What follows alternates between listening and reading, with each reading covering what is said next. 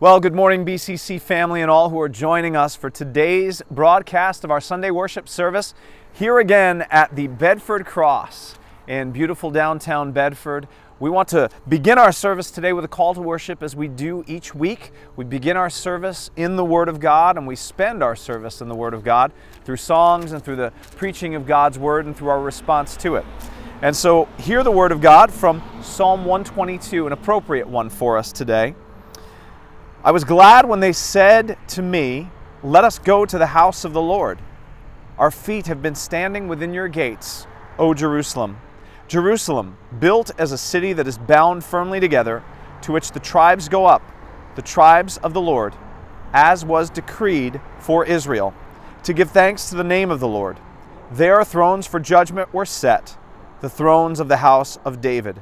And then this verse, which is so appropriate for the times in which we live, Psalm 122, verse 6 Pray for the peace of Jerusalem.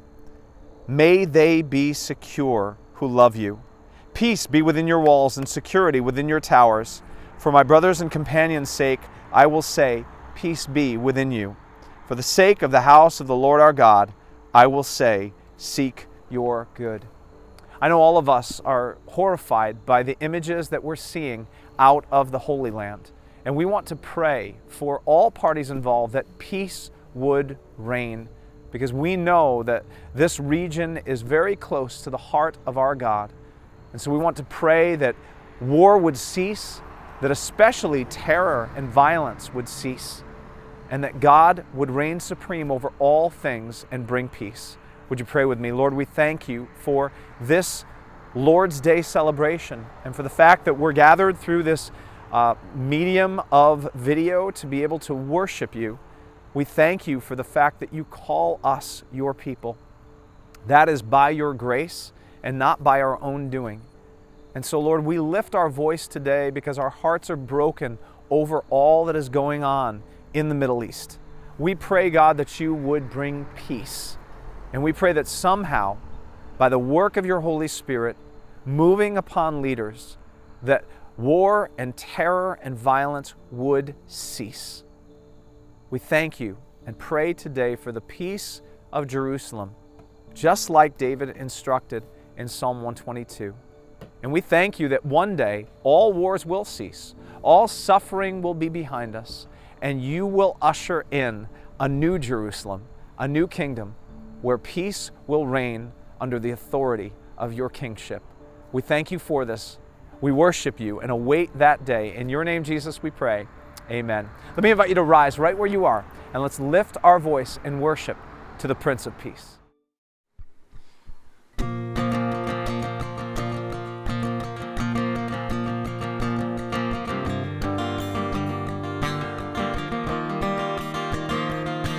Oh, don't lose heart, oh my soul, oh my soul. Don't give up, there is hope, there is always hope. And there is peace in the storm, in the storm. No, don't forget,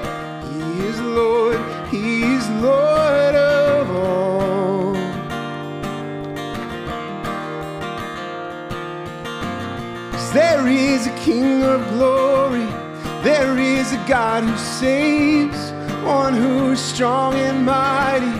Freedom is in His name. Open the gates of heaven, lift up a shout of praise. There is a lion roaring, Jesus, the King of glory. So lift your eyes, stand in awe, stand in awe, cause there my help comes from.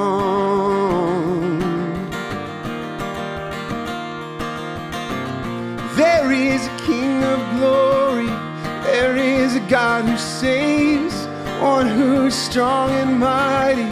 Freedom is in his name. Open the gates of heaven, lift up a shout of praise. There is a lion roaring, Jesus, the King of glory. Mm.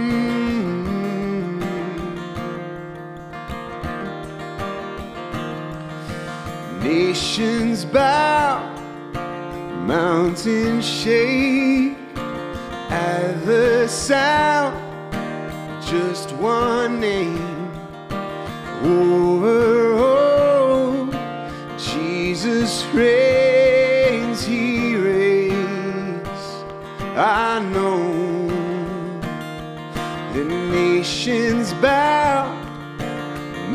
Mountains shake at the sound of just one name over all. Jesus reigns. I know there is a King of glory. There is a God who saves, one who is strong and mighty. Freedom is in his name. Open the gates of heaven, lift up a shout of praise. There is a lion roaring, Jesus, the King of glory.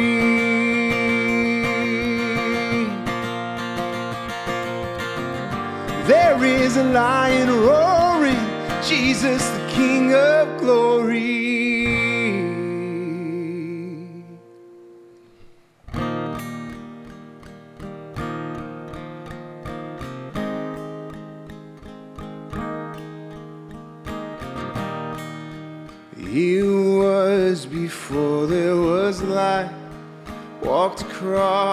Pages of time. He made every living thing. Behold him. He who heard humanity's cry left his throne to wake as a child. He became like the least of us. Behold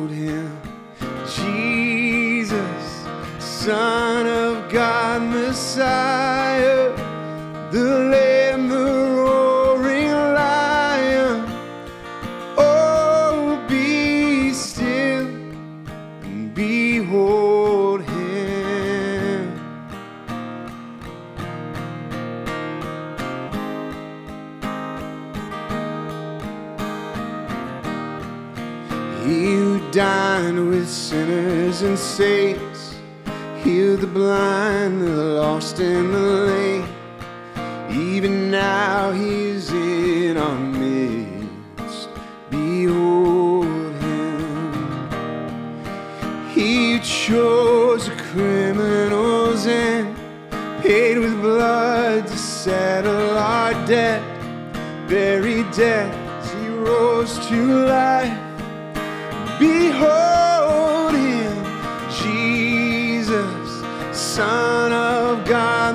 God,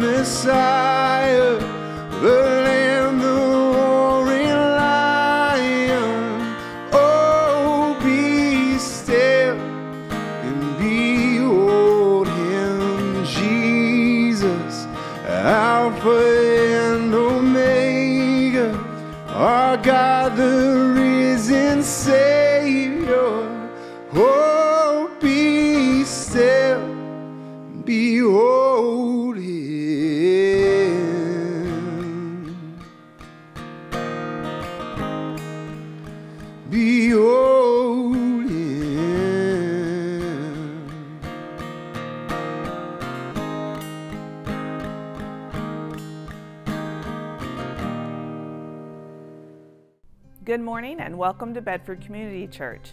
My name is Deanna Pastor and I'm the Director of Growth Groups here at BCC. We're so glad you're with us. Here are this week's announcements. You ready for this? Danny, I was born ready. Let's Okay. go. Let's go. Okay, what's the capital of Minnesota? St. Paul. Harder. Okay, who was the seventh U.S. president? Martin Van Buren. Harder. Okay, what is the square root of 15,129? 123. Come on, man. Harder. Oh, snap. Okay, what's the definition of poppin'? Uh, the street name for Mary Poppins. No. The street name for popcorn? No. Wait, I know this. Uh, tell the folks what's coming up while I figure it out. Folks, we invite you to a fun event called Game Time on Sunday, October 15th. It's going to be after the second service. We'll have pizza and fun games. All are welcome. If you're interested, reach out to Lisa Bruno. It's gonna be poppin'. Did I use it right? Nailed it. Game time. Let's go. Let's go! Friends, we are dedicating November to show appreciation and gratitude to those who serve our community. And we want to do that in two ways. First is Thank You Tuesday. As a church, we're going to bless all of our Bedford first responders, as well as the Bedford Town Hall, Parks and Rec Department, and the Highway Department. You can get involved by making home baked treats, help drop off these treats, write a thank you note, or give financially to provide a meal for our first responders. And the second way that we want to show appreciation is through the Gratitude Challenge. Now, in November, we are going to create a wall of gratitude in the main hallway. And on that wall, there will be 200 empty squares. Why 200? Well, we want you to bless someone in your community. It could be your neighbor, your crossing guard, a teacher, your favorite barista. It can be anyone. So give them a small gift and let them know how they've blessed you.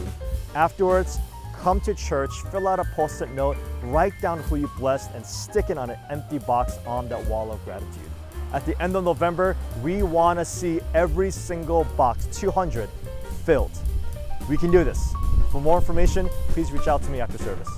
Friends, you and your friends are invited to Pumpkin Palooza on October 29th after our 11 a.m. service. We want you to enjoy one another's company with kid-friendly games, pumpkin painting, face painting, and some trunk or treat.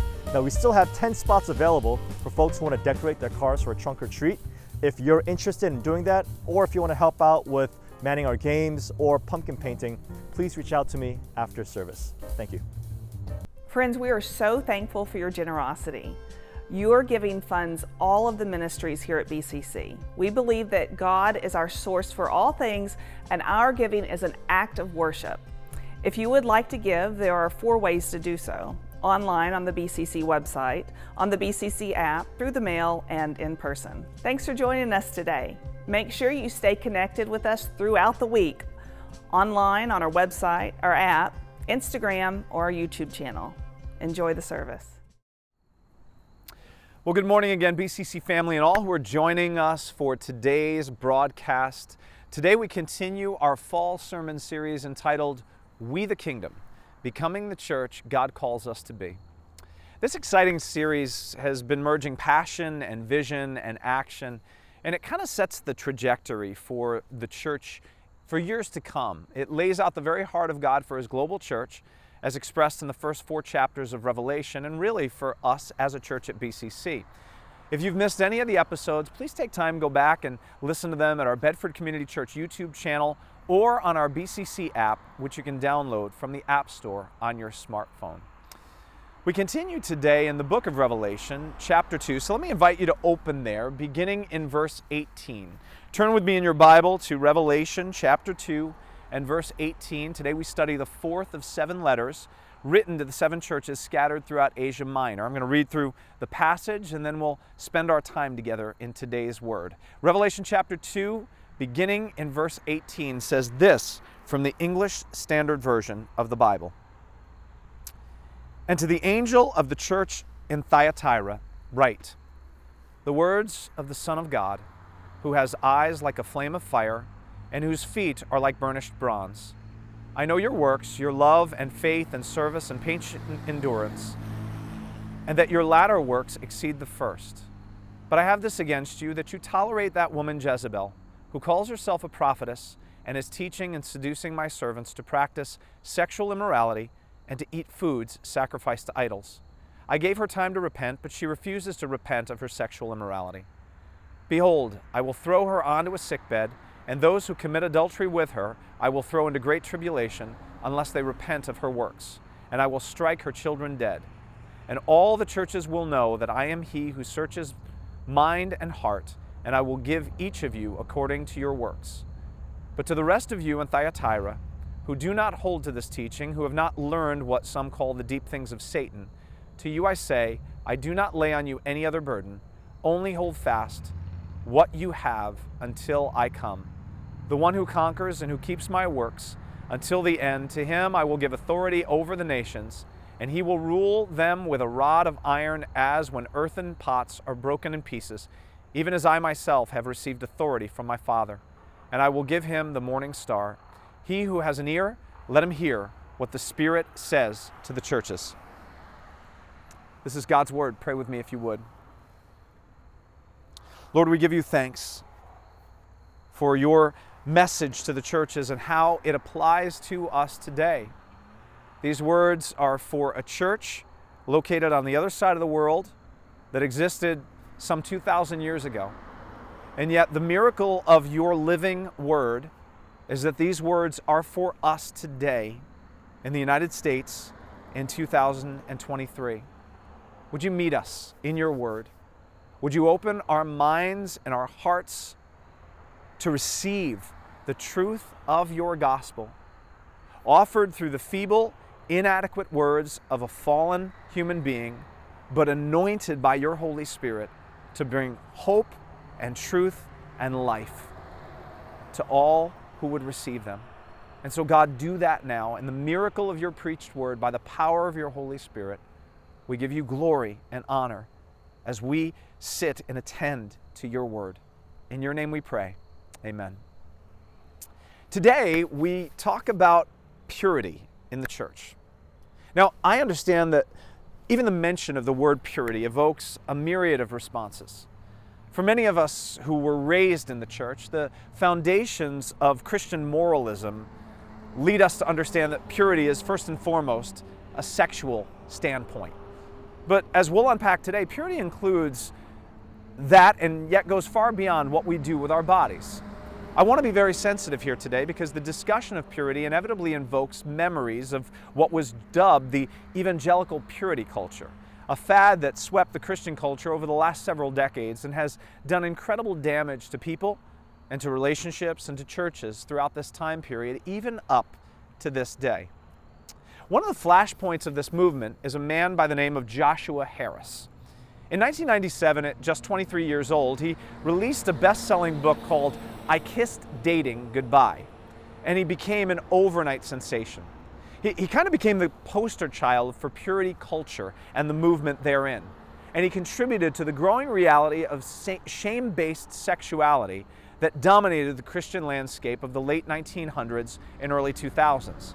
Whereas the Bible outlines the gift of biblical sexuality, the legalistic moralism of fundamentalist male leaders sought to control and manipulate the masses through guilt, fear, and shame.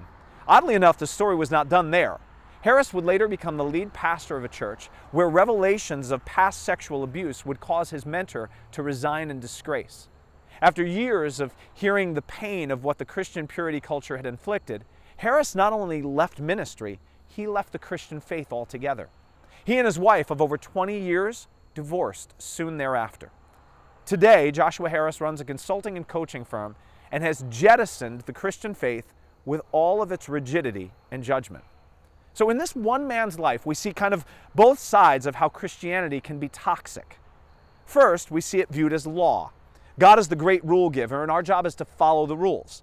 Leaders in the churches are put there to enforce the rules. And if we follow the rules, we remain pure in word and deed and are thus acceptable to God. But on the other side of the coin is license. As a person with free will, I'm given the right to decide what's best for me, and I will act upon this with things I willfully choose. No person or religious construct is going to impede my personal autonomy to decide what's best for me.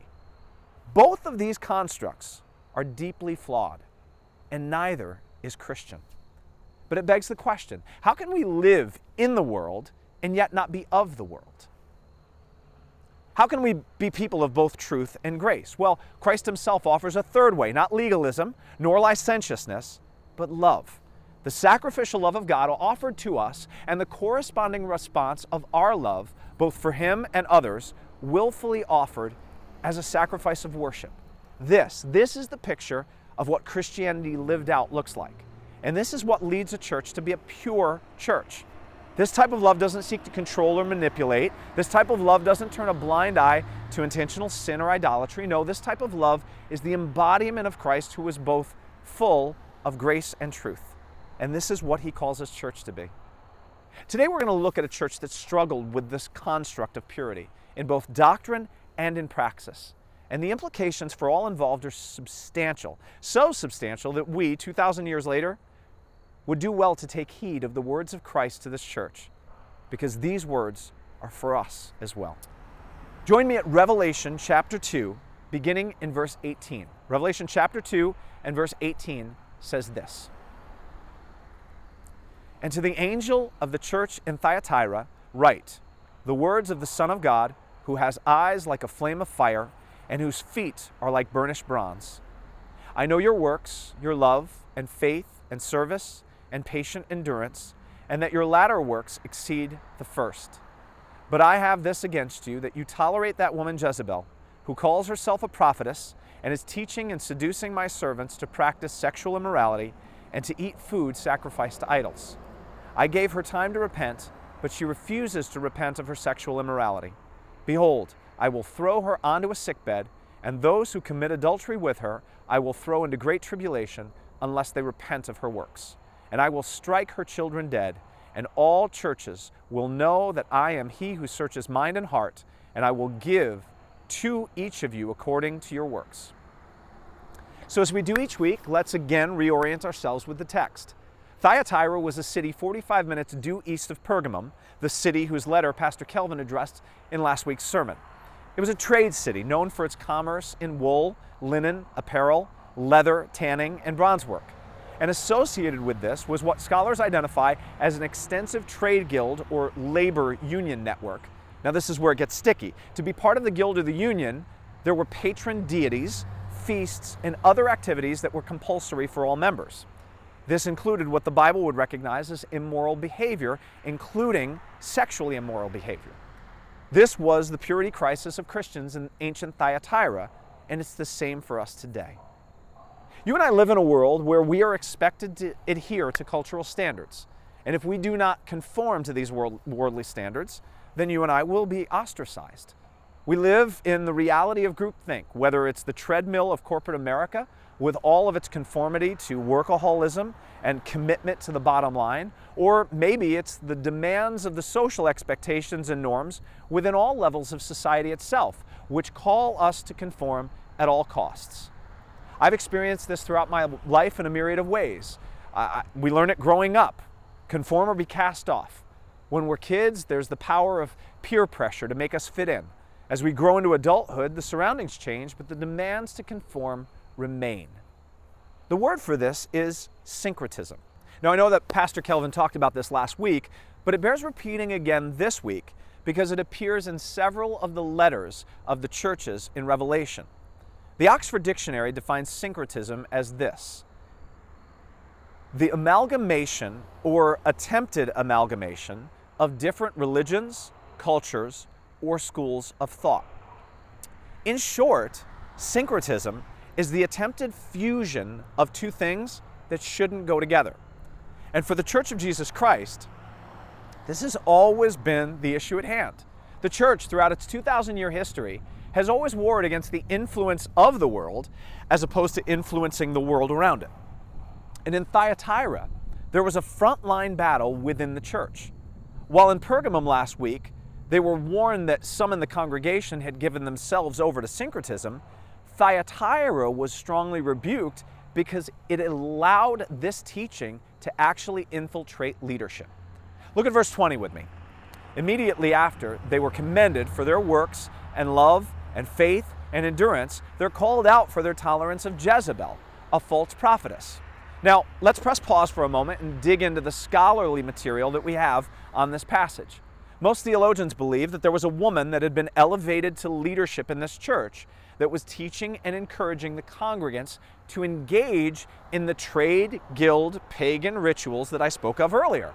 These rituals would include, as verse 20 states, sexual immorality and feasts honoring pagan deities.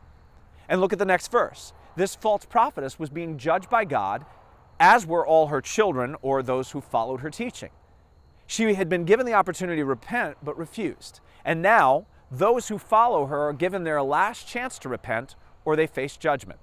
Verse 23 ends with God stating that his judgment on her and her followers will be an example to all that God is the one who searches the mind and heart of all people and judges them accordingly. So let's, let's stop here and ask an important question. What do we do with a passage like this? I, I mean, this is scary, fire and brimstone stuff, right? This is the reason why some of us resist the Bible and the God that it talks about. Who wants to hear about deceptive false teachers and sexual immorality and God's judgment of tribulation and death? Well, let's return to what we talked about earlier so we can tie this all together, shall we? Remember that we discussed that there are two false ways of living legalism and licentiousness. But the third way, the third way of love, the way of God, is the way of love. I said this before, you've heard me say it, that God cannot be a God of love if He's not a God first of justice. Love demands righteous anger against that which threatens the object of said love. So, all judgment that we read in Scripture, from Genesis to Revelation, is God's righteous judgment born out of His love for His church. And He will judge all legalism and licentiousness that do violence to His beloved people. And that's why judgment begins with leaders. I want to talk about this as a church and the implications therein. First, God's calling us at BCC to be set apart from the world, to not be syncretic in our living. That means whatever pressures you feel from the world around you to conform, you filter all of those through the Word of God and you live according to the standard of who you really are in Christ. Listen, I know it's hard, but you have a choice. This is where we trust God and we do what's right even when it costs us. Second, we as a church must take serious this issue of sexual immorality. The culture around us has gone off the rails in the issue of sexuality and gender, and it has infiltrated the church even at the highest levels. I don't know if you've seen in the news over the last couple of weeks, but it's been highlighted that two church leaders, two well known church leaders, have been evolving in their views of historical biblical sexuality. Do not be deceived. We must stand our ground in both grace and truth and hold on to what the Word of God says about how we use our bodies. Finally, leaders in the church must be held to high standards. We need to think about this now as we nominate new leaders for our church in the month of October. Public service announcement nominations are open. Reach out to the church office if you have any questions about how to nominate someone. Jesus addresses the fact that Jezebel was given leadership, and with that leadership, she deceived in both doctrine and deed. Church, we must ensure that our leaders are held to high standards of orthodoxy in doctrine and purity in life. For this reason, you may have heard we institute, instituted a leadership covenant here at BCC this past year. Its purpose is simple to clearly articulate the expectation that people in leadership positions at BCC will live, by God's grace, as people who are guided by Scripture in every facet of their lives. This covenant is not legalistic, this covenant instead warns against licentiousness. And most of all, this covenant is motivated by love love for God and love for each other. We have a sacred responsibility to do all that we can to ensure the purity of Christ's church, not by behavior modification, but by being a gathering where life transformation takes place. And for those who choose, by God's grace, to live this way, unspeakably great things await. Let's finish the text and see what they are. Beginning in verse 24. But to the rest of you in Thyatira, who do not hold this teaching, who have not learned what some call the deep things of Satan, to you I say, I do not lay on you any other burden.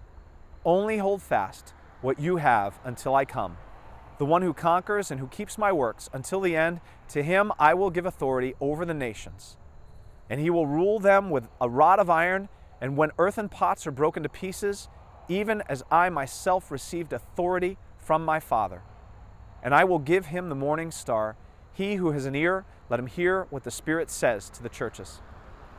The cost of being a Christian in Thyatira was great. Their faithfulness to Christ would cost them their family, their homes, their jobs, their standing in society. Eventually, it would cost even some of them their lives.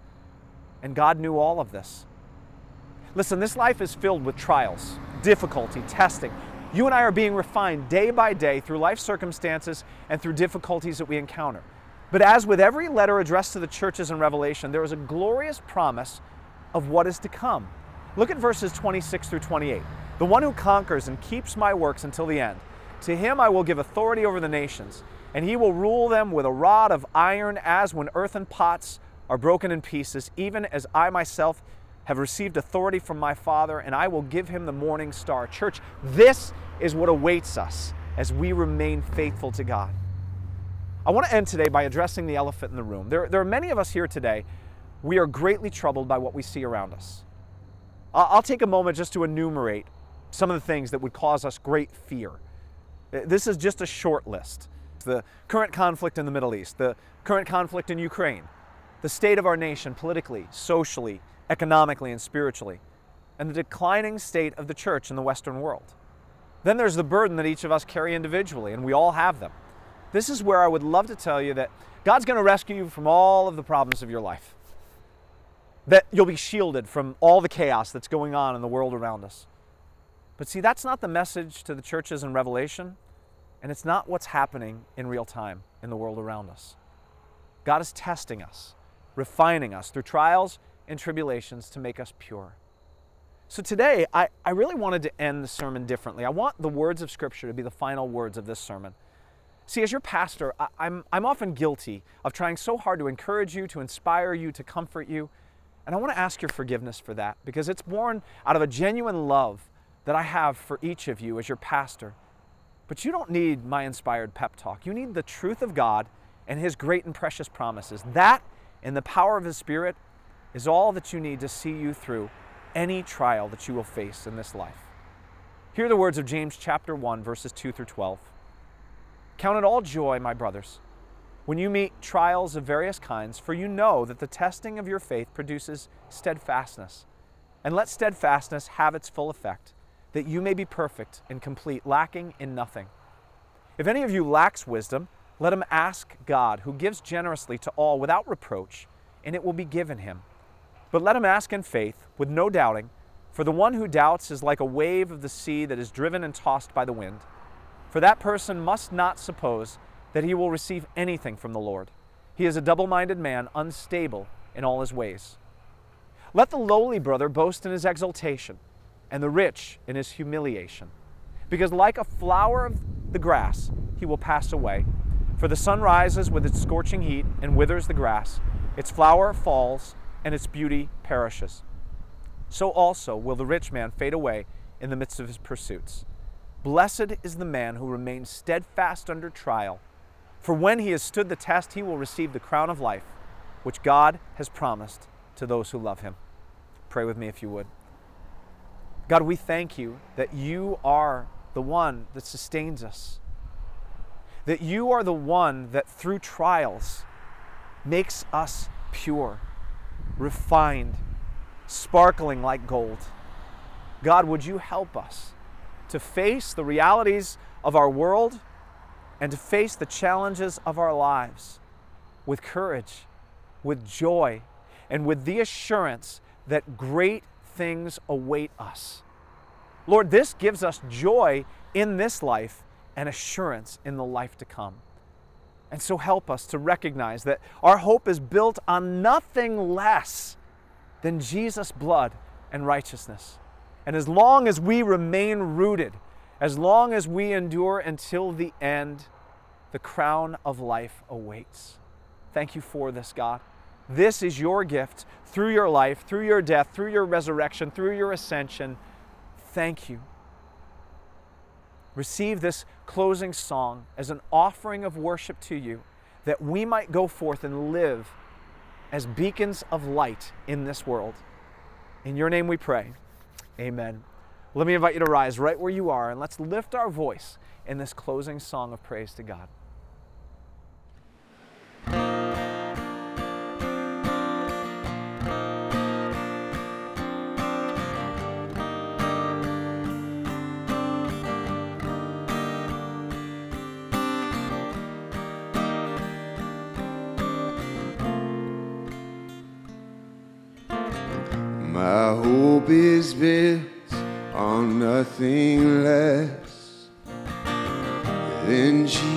Jesus' blood and righteousness.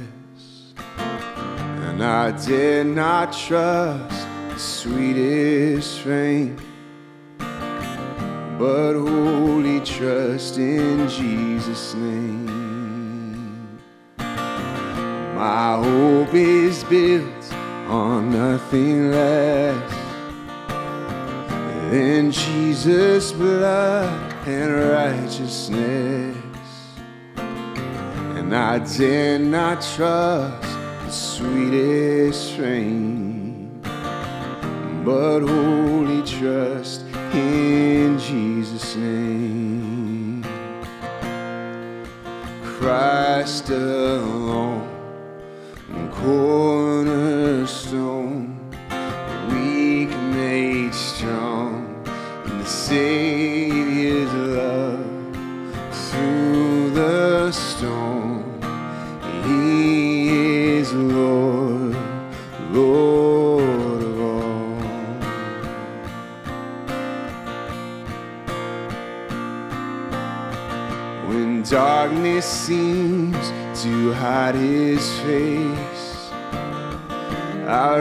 on his unchanging grace. As in every high and stormy gale, my anchor holds within